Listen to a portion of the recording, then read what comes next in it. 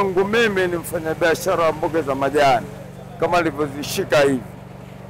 Sasa kuanzia saa saba za usiku mzigo ulivyoingia, ndio ndio soko likaanza kuungua. Kuanzia saa saba mpaka muda huu soko bado linaendelea kuteketea.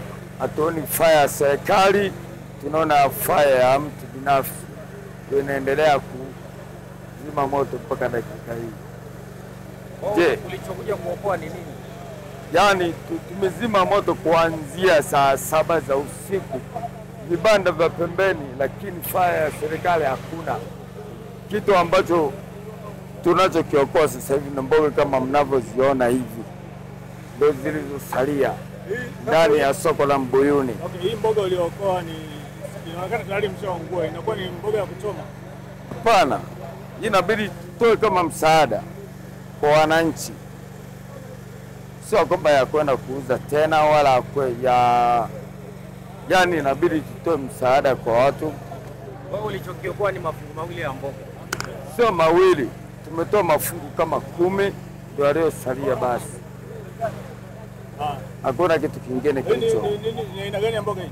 mnavu, ambao fungu hili hapo moja ni shilingi elfu tatu Kwa hiyo hapo umebeba mnavu wa kuchoma. shilingi elfu sita Kwa hiyo umebeba mnavu wa kuchoma hapa. Hapana, hapa inabidi tuwape wananchi Anza kwa majina. Kwa jina langu naitwa Elizabeth. Elizabeth nani? Elizabeth Cheupe Mrema.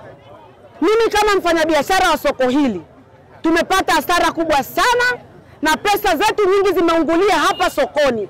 Sisi tunalea watoto wetu kwa mikopo, sisi tunale- tunaficha hela sokoni, tukiwa naenda nyumbani, wanaume wanachukua pesa na na- wanaanza kunywa pombe.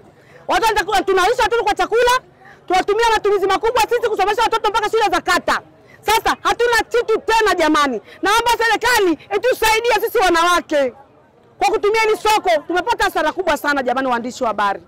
Kwa hapo nimefika mwisho. Vitu gani ambavyo ume- umevipoteza siku ya leo? Yaani kwa siku ya leo vibanda vyangu vitatu vimepotea hapa, na nategemea kulisha nasi watoto. Matumizi makubwa ni sisi wanawake kwa soko hili, Ulikuwa na bidhaa gani?